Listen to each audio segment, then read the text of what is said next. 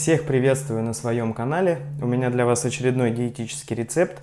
И этот рецепт будет постным. И приготовлю я сегодня рулеты из кабачка с картофельной начинкой. Список всех ингредиентов я дам в описании к этому видео. Меня просили приготовить постные блюда, поскольку постов в православном календаре очень много. При этом есть люди, которые не употребляют животную пищу, вегетарианцы, и вот это блюдо полностью из овощей абсолютно подойдет для такого питания. Возьму небольшую луковицу, или половинку, или даже четвертинку, лука много не надо. Нарежу мелким кубиком Лук это не обязательный ингредиент, я добавлю его для аромата. Залью кипятком, чтобы он был не такой острый. Отправляю лук в глубокую посуду. Заливаю крутым кипятком. Убираю лук в сторону. А теперь займусь кабачком. Нужно обрезать у него края. И нарезать тонкими слайсами. Лучше брать молодой кабачок, он вкуснее, нежнее, и в нем маленькие семена. Миллиметра по 2-3 толщиной слайсы должны получиться. Вот такие. Картофель нарезаю на небольшие кусочки. Заливаю водой и ставлю отвариваться. Картофель немного подсолю. Накрою крышкой и буду варить до готовности, пока картофель не станет мягким. Кабачки нужно немного размягчить, чтобы они легче скручивались в рулет. Сделать это можно несколькими способами. Можно запечь в духовке, можно приготовить на пару, можно приготовить на сковороде. Я покажу, как это сделать на сковороде. Ставлю сковороду на средний огонь, отправляю туда нарезанные кабачки, накрываю крышкой и буду тушить, пока кабачки не станут мягкими, примерно 5-7 минут. Переворачиваем периодически. Вот этот уже мягкий. Если вы видите, что кабачки начинают поджариваться, просто добавьте чуть-чуть воды и продолжайте тушить под крышкой. Укроп мелко нарежу. Большинство приправ диетой запрещено, но в блюдо можно добавлять небольшое количество зелени. Петрушка, кинза, укроп, базилик. Все это добавляет аромата и делает блюдо не таким скучным. Готовые кабачки достаю из сковороды. А в сковороду отправляю новую партию.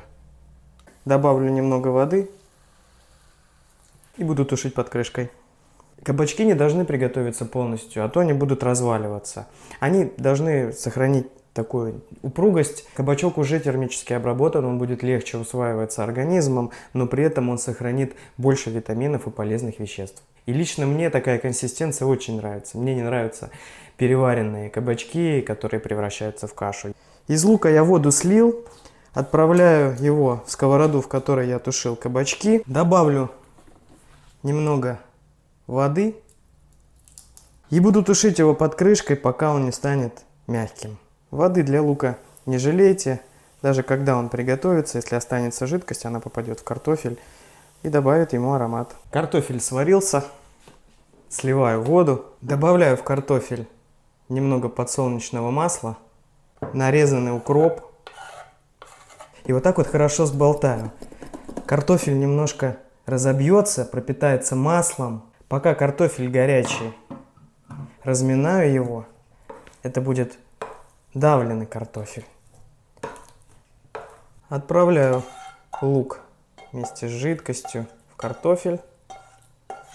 Тщательно перемешиваю. Такая достаточно густая, плотная. Нам это и нужно. Кабачок сочный, мягкий сочетание получится отличная консистенция. Беру небольшое количество картофельной начинки, укладываю вот так вот, чуть-чуть размазываю на кабачок и аккуратно закручиваю. Вот.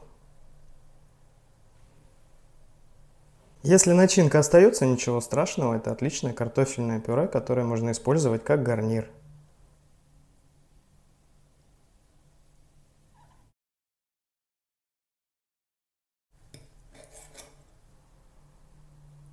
Выглядит очень красиво, а это немаловажно для диетического питания. Диетические блюда должны выглядеть так, чтобы их хотелось есть. Вызывать нормальный аппетит и желание употреблять диетическую пищу. Ну, мягенький очень. То, что нужно. Признаюсь честно, это блюдо превзошло мои ожидания. Оно получилось гораздо вкуснее, чем я предполагал. Сочный нежный кабачок и давленный картофель с укропом и небольшим количеством лука. Замечательное сочетание, очень вкусно, полезно и постно. С удовольствием делюсь с вами этим блюдом. Это отличная закуска, я надеюсь, она вам тоже понравится. И в заключение хотелось бы сказать пару слов об изменениях на моем канале. Меня просят люди, чтобы я сделал категории рецептов блюда с рыбой, блюда с мясом закуски, салаты и так далее, чтобы можно было легко найти э, нужное блюдо, которое вы смогли бы приготовить для вашего диетического питания. И кроме того, когда выйдет книга, она будет соответствовать этим разделам на моем канале. И если рецепт какой-то будет непонятен, можно будет зайти на канал, открыть нужный рецепт и посмотреть, как его готовить. Собственно, для этого и нужна вот эта навигация, для того, чтобы легче было найти нужный рецепт. Поэтому какие-то рецепты я уже выкладывал в общих обзорах, в обзорах э, меню, диеты для стола номер 5. Прошу с пониманием отнестись к тому, что будут какие-то повторения в рецептах. Я это делаю для того, чтобы и вновь прибывшие подписчики смогли легко ориентироваться на моем канале и выбрать подходящее для себя блюдо. Всем огромное спасибо за внимание.